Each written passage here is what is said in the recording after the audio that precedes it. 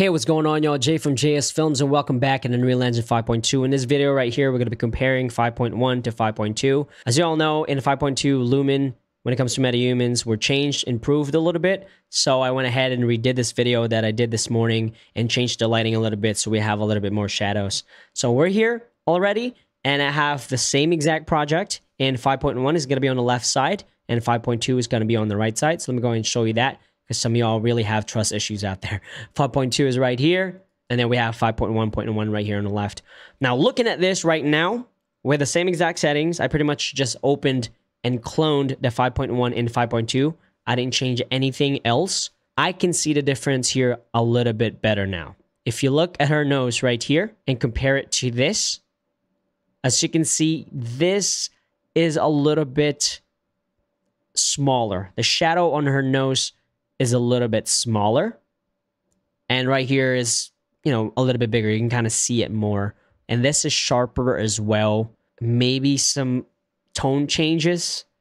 This one right here looks a little bit yellowish, greenish. And this one right here looks a little bit more, you know, pink. Kind of like you can see a little bit through the skin a little bit more with some subsurface scattering or whatever. So the question now is, would this be enough change or improvement for someone to swap over from 5.1 to 5.2? To me, probably not. I mean, I still use ray tracing deprecated anyway for my shorts. I don't use Lumen when it comes to a metahuman. I absolutely do not do that if I can. Um, but for y'all out there who are wondering if it's worth swapping over, if you ask me, I don't think it is. Uh, 5.3, however, as y'all know, I've been messing around with that. That comes with a lot of cool features already. I still got to make more videos about some of the new stuff in there. So I think 5.3, absolutely. But 5.2, unless you really need the procedural content plugin that I made a video about, the tutorial, I think I would stay with the 5.1. But then again, let me know in the comments below if you think this is enough change or improvement for you to swap over your project. Uh, but that being said, I did re-record this portion. So what I'm going to do now is just replay what I recorded this morning as far as the rest of the changes in Unreal Engine 5.2. That being said, I'm going to show you some stuff that they added in 5.2. Uh, if I now go to lit, you're going to see we now have groom debug. So that's good. So I can go to the guides. That's going to change it to the actual guides of the strand. So if you see right here in the lit, we don't have that. Now let's talk about the post-process volume. They did add a couple of things in there. So if I scroll down here, you'll see we have path tracing. And if I do the same thing for a 5.2, you see right here, we're going to have this thing called lighting components. What actually, what that's going to let you do is actually take away render settings for path tracing. So if you don't want to render emissive, you can uncheck that. That's what I'm guessing. That's what I'm getting out of it. Maybe if you're trying to debug a scene that you want to get rid of some some key elements for path tracing, then I guess you can disable it. You just go path tracing film grain and there's nothing, there's no lighting components there. So they did add that for path trace. Additionally, if we were to render this, they did add, I believe they added this like early, earlier on as soon as 5.2 came out last year. If I render this movie with a render queue, and uh, I'll do the same thing here. I actually find this change a little bit annoying. So if I go to the unsaved config and I go to the output, whenever you type a file name in here, you're going to have a lot more options. There's going to be a drop down, you know, like level name and stuff like that. But the problem is I can't tab out of that. Like for me to get out of that view after I change the name, I would have to like click out of it, which is kind of annoying. So again, if I go to 5.1, I'll go right here. You're not going to see that, right? So if I type in JOL, it won't be there. So again, that's just one of those things that they changed or they added uh, in 5.2. Additionally, if you did not see my video on this, procedural content generation framework is here.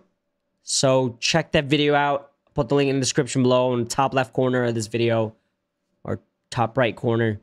And then check that out. The video is pretty cool. It's pretty much a new scattering, procedural scattering system, which is pretty powerful. Been playing around with it. It's it's pretty nice. But aside from that, I mean, I can go ahead and render this just to see if we would see the change in the render. But honestly, like again, I just don't I don't see it. So I'll put 2 in here for 5.2. And we're just gonna render like maybe four frames. It's fine. And while that's loading, I'll go ahead and pull this up in um in DaVinci Resolve. So here's one. And I'll just put this right here. And by the way, this right here is a path trace metahuman that I rendered in Unreal Engine 5.2. So that's good news. This thing rendered in 34 hours. It's about, let's see, 54 seconds. So that's a good thing. Um, but as you can see right here, and again, I'm going to upload this a video of this later. I'm having issues with the metahuman eyelids.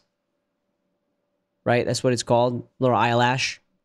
Usually, whenever you zero out the actual um, mesh to metahuman effect, that will get rid of that. But I can't.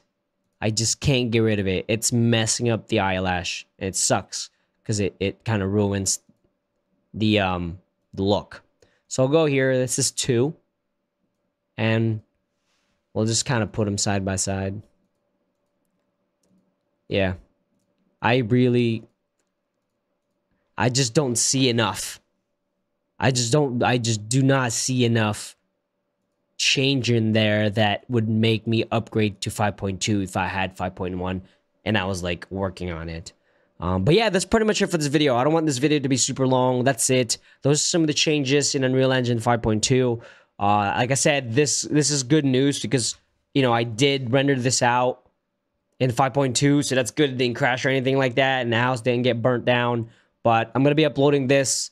Obviously, it took a while, so if you have any questions, let me know, and I'll see y'all later. Peace out.